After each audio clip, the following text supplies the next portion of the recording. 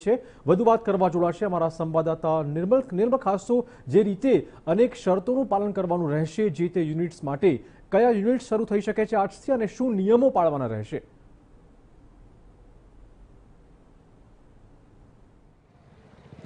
મૂળભૂત રીતે જોઈએ તો જે રીતે લોકડાઉન હતું અને લોકડાઉનને કારણે રોજગારીને અસર પહોંચી છે, અર્થતંત્રને અસર પહોંચી રહી છે અને તેવા સંજોગોમાં જરૂરી છે કે અર્થતંત્રને વેગવંતુ બનાવવાની શરૂઆત કરવામાં આવે.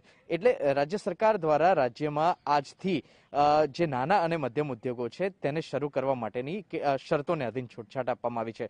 રાજ્યની આઠ મહાનગરપાલિકાની અંદરના વિસ્તારમાં કન્સ્ટ્રક્શન સાઇટને શરતોને આધીન મંજૂરી આપવાની શરૂઆત કરવામાં આવી છે, જે તે વિસ્તારના મ્યુનિસિપલ કમિશનર દ્વારા અંગેની મંજૂરી આપવામાં આવી રહી છે.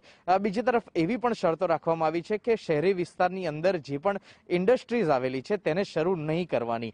ગ્રામ્ય વિસ્તારમાં આવેલી જે ઇન્ડસ્ટ્રીઝ છે, એટલે કે શહેરી વિસ્તારની બહાર આવેલી જે ઇન્ડસ્ટ્રીઝ છે તેને જ શરતોને આધીન શરૂ કરવામાં આવે.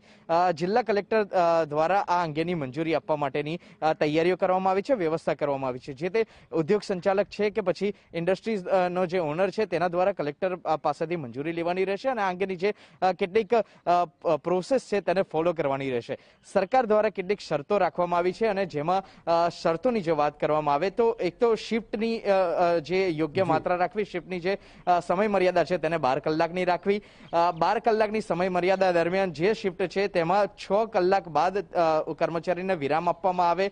સોશિયલ ડિસ્ટન્સિંગ મેન્ટેન કરવામાં આવે. દરેક કર્મચારી માસ્ક પહેરીને આવે અને તેમજ જે સ્ટાફ છે તે નિયત માત્રામાં જ સ્ટાફ દ્વારા કામ કરવામાં આવે. બાકીના સ્ટાફ દ્વારા વર્ક ફ્રોમ હોમની તૈયારી સરકાર દ્વારા કરવામાં આવી છે અને તે અંગેની વ્યવસ્થા ઉદ્યોગ સંચાલકે કરવાની રહેશે.